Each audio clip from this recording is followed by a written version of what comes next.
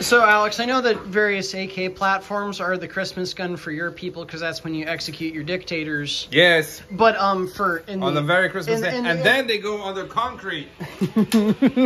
but in the U.S. context, the For MP. preservation for future Yeah. generations. Yeah, but the in the U.S. context, the uh, the Christmas gun is the MP5 because that's the gun in Die Hard. Ta- oh, Bruce Willis and uh, Nakatomi Plaza. Yep. And then that's why you get to do the AK, HK slap. It's like, yay! Woo! That's an interesting motion to Well, be that's, made. how, that's what you do with HKs.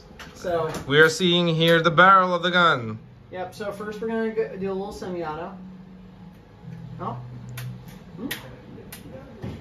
Oh, come on. Here we go. Ladies and gentlemen, please witness a genocide of the metal flippers.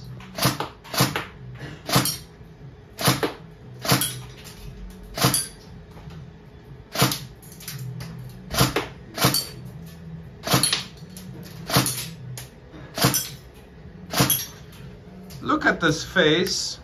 This is the face of a murderer. This is what they look like.